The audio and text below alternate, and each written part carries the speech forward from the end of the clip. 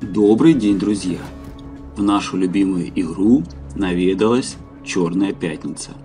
А в Адмиралтейство и премиум магазин прибыла знаменитая Черная Флотилия. И в этот раз, как и всегда, флотилия пополнилась черными новичками. Премиум линкоры 9 уровня Японии Ивами и 8 уровня Германии Бранденбург. Советский премиум крейсер 7 уровня Лазо и легенда американский премиум эсминец 9 уровня Black. Причем на все новинки уже действуют приятные скидки.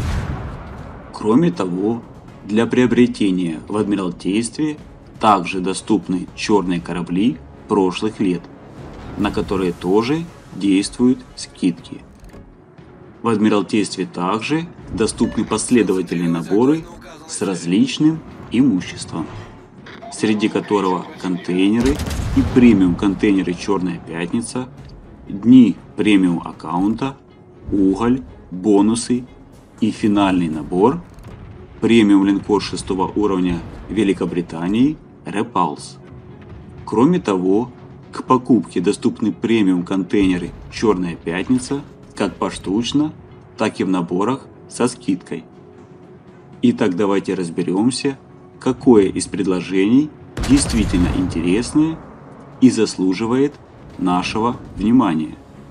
Стоит ли покупать премиум контейнеры «Черная пятница», каждый решит для себя сам. При стоимости 1250 дублонов – вероятность выпадения премиум корабля из контейнера вполне неплохая – 12%. Но для меня это все равно рулетка за дублоны, а хотелось бы гарантии. Следующий, как по мне, малоинтересный вариант – это премиум линкор 6 уровня Великобритании Repulse, который в цепочке обойдется 8385 дублонов. И это за линкор, который доступен абсолютно бесплатно в рамках программы «Морское братство». Дальше корабли, которые доступны к покупке на постоянной основе, заменят ценный ресурс уголь. Тоже не стоит выкупать. И это Наполи, Яшина, Ивами, Кирсардж, Померания, Блэк и Лазо. А вот черный новичок Бренденбург, который предлагается с хорошей скидкой 30%, Жанбар, Аляска, Массачусетс и Осашуа – это действительно достойные внимания корабли.